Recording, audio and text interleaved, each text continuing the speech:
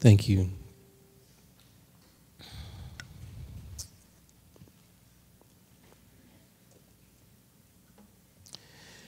For the past uh, month or so, we've been talking about prayer. We've been learning about prayer. Hopefully, your prayer life has been strengthened or encouraged. Um, maybe just reminded of some things you already knew. And uh, today we'll probably be kind of wrapping wrapping up our uh, our emphasis on prayer, um, and a couple of other things that I, I was thinking about, um, and it probably will come back to me in a minute if it's important. But two weeks ago, I uh, I brought a message on the shortest prayer in the Bible, and uh, and how effective that was. But I also made reference to the longest prayer in the Bible, and that is found in Nehemiah. Um, it's over 1,200 words, and it is where Israel is confessing their sin. And it took a while. Uh, and, uh, and so, but it, but it had a great impact when they did that. Uh, they rebuilt the walls. They were able to do all this really incredible stuff because they'd confessed their sins and they'd gotten, they'd gotten that out of the way and they could deal better with, uh, with the Lord. And of course, we know that that's uh, uh, that's that's pre pre Christ. That's pre uh, the cross, and and but it's still such a powerful a powerful message for us. Um, so today uh, we're kind of looking towards um, the Fourth of July um, celebration and all that other stuff. But I thought today would be a great day for us to spend some time praying for our nation. And uh, but first, I wanted to invite any of our young people who'd like to come up to come on up. Come on. Jesse, you can. Raylan, you can. Hannah, Reagan, Jaden, anybody. Herb, anybody who's young. Um, okay, so over there, everybody go grab you a flag. You have your own flag, you know, extra flags. So, um, so I have a question for you. Um, you don't have to participate, or you can yell from back there. So I have some questions for you guys. How are you? Good, good. Good. Hey, I've actually put your name, your birthday. Yeah, America. Your, your, that reminds me of what it is. Next week, baptism. We think.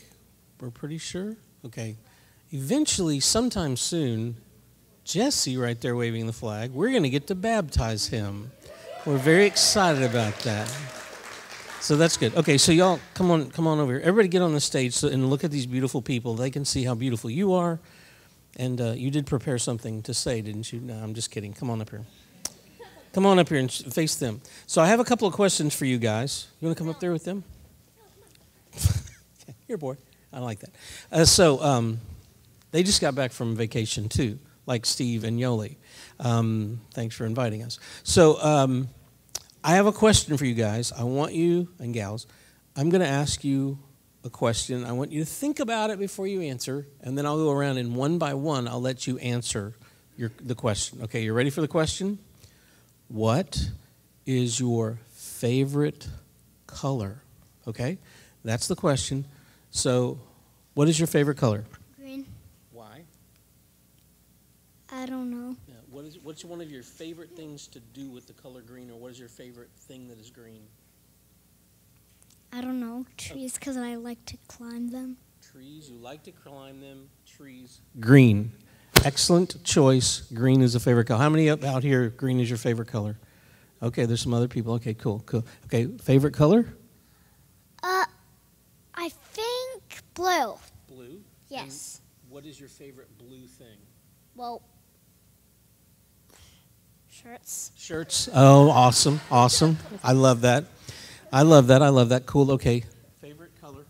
Rose gold. Gold. Oh, Rose gold. Rose gold. Peach. Good luck, Zale. Okay. So, wha- what is your favorite rose gold color thing?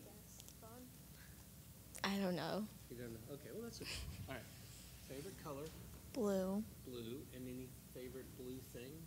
Shirts. Skirts. She says no. Nothing? No. No. Okay. Favorite color? Purple. Purple. Any favorite purple things? Everything is purple. Everything's purple. Okay, good. Awesome. Okay, so I have a question for you. I want you to turn around and look up here the, at the screen. What if you could only have that one color and I ask you to color this? what would happen if all you could do is the color that was your favorite color? Would you be able to do that whole thing? Yes, you just do it all purple. I, I, I got that. I get your message, Jesse. But, but so if you were doing if you were doing green, you would only be able to color in four or five states. If a rose gold, you may just you know maybe would let Michigan and Arkansas be rose gold or whatever. Blue, you could get a couple of you know. But see, aren't you glad that whoever made that map used more than just your favorite color? Because it's it's cool. Purple, yes, we get that. So, favorite colors are important but we also like to be able to use more than just our favorite color. Okay, you guys are great. Go go sit down, and thank you for your flags. Oh, very good. You keep keep that. Yes. You guys can. Uh, everyone can have a flag if you'd like to have a flag. So what in the world was that a point of? Well, we know that we live in a we live in a country that we have a constitution. We have all this important stuff. For those of you who haven't read the Constitution lately, or uh, apparently there are a lot of people in Washington who have not ever read it, but I digress. But we have this thing called separation of church and state, okay? And over the years, that has taken on, it's become, it's, it means something it's purported to mean something totally different than what it was probably in, originally intended to do. So, Congress shall make no law respecting an establishment of religion or prohibiting the free exercise thereof. And many people say, well, separation of church and state means that you got the church over here and it can never touch the, the government and the government can never touch the church. And so Christians should stay out of politics. Well, that's not what that means at all. What it means is there should never be a church established by the government because the colonists were coming from what? A country where the king, the head of the political regime, also happened to be the head of the church. And so you can see how that might kind of cause a little bit of problems. And they said, no, we don't want to do that. We want to be able to celebrate and, and worship however we want to do. So, what that translates for us, though, today is that whether you're, whether you're selling hamburgers whether you're a politician, whether you're a, a pastor, whether whatever you do for a living, who you are in Jesus Christ goes with you and, and helps you make every decision that you make. You cannot separate the decisions you make from who you are as a person, who your core is. And our core as Christians is, is to, to be a representative of Christ. So now that I know it's like you, can't legislate morality, and people have tried to do that, and that gets that gets pro, to be a problem and all that. But I just want to re- remind all of us that while I'm a huge patriot, just like you are, my core is based on who I am in Christ. And who I am in Christ is the same as somebody who grew, grew up in a communistic country who they are in Christ is their core. Uh, somebody who grows, grows up in a socialist country, who they are in Christ is their core. Somebody who grows up in total anarchy, who they are in Christ is their core. And that will affect everything that we do. Every decision we make, every stand we take, it, it, it will affect all of those things. But it's cool because we all have we live in a country that's made up of some very diverse people, and isn't that a good thing? Aren't you glad that there isn't just one color in the rainbow? Aren't you glad there isn't just one color of person? There's not just one sex of person. There's not just one um, political party of one. It's it's what makes it beautiful. We're like this really nice. Uh, tapestry, uh, if you will. And uh, I wanted to show you uh, one other thing that's pretty cool. Um, we have a video Many of you are going to remember this. Bill, are you ready? Bill is back there on video duty back there. Some of you will remember this and enjoy it.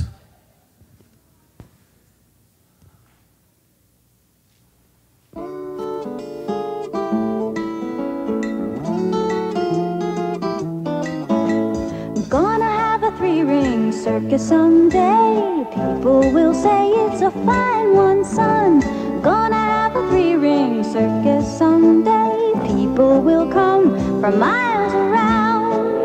Lions, tigers, acrobats, and jugglers and clowns galore. Tightrope walkers, pony riders, elephants, and so much more.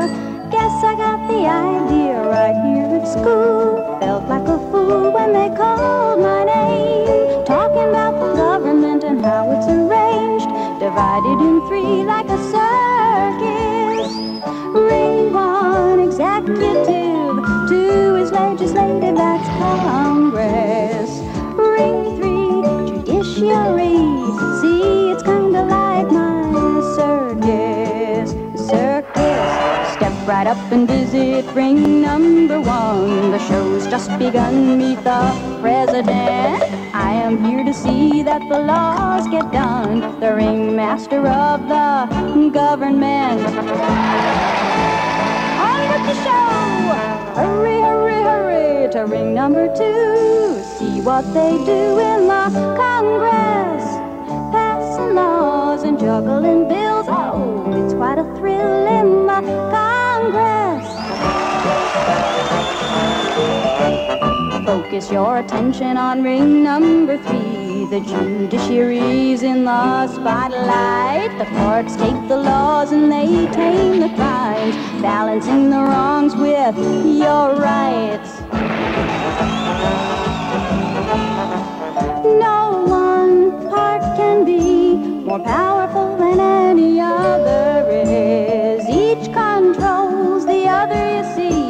and that's what we call checks and. Says, well, everybody's act is part of the show, and no one's job is more important. The audience is kinda like the country, you know, keeping an eye on their performance. Ring one, executive. Two is legislative, that's Congress. Ring three, judiciary. See, like my circus. My circus. I'm Gonna have a three ring circus someday. People will say it's a fine one, son. But until I get it, I'll do my thing. With government, it's got three rings. How many of y'all remember that? Ah, there you go. Yeah. I, some of you are like, I've never seen that before. Isn't it amazing that even then they knew it was going to be a three ring circus in Washington? I think. No. Why did I want to show that to you? Because it's important as we pray today I, because I really want us to pray specifically for those three, uh, those three branches of our of our government. Uh, we want to pray for our president and the executive office and, and all the people who are there and influencing the influencers. We want to pray for our Congress. Uh, we want to pray for those senators and congressmen who are there to represent you and I. And we want to pray that God would, that they would be open to the voice of God, that they, for those who are there and are Christian, that again, their core would come out and would be represented in the way that they represent us as Christians.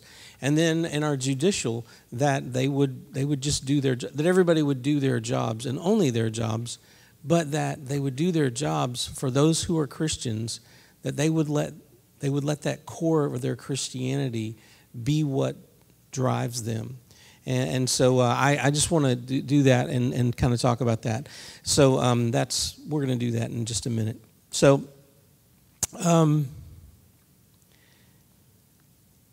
in 2 chronicles 7 14 and we know this we've heard this over and over again if my people who are called by not my name will humble themselves and pray and seek my face and turn from their wicked ways then i will hear from heaven will forgive their sin and will heal their land i think it's really interesting that there are a lot of us uh, who know people and we ourselves pray for our government but we forget that um, we're also supposed to humble ourselves. See, you humble before you pray. Because if we pray from the wrong attitude, from the wrong altitude, from the wrong perspective, the prayers are not going to be very effective.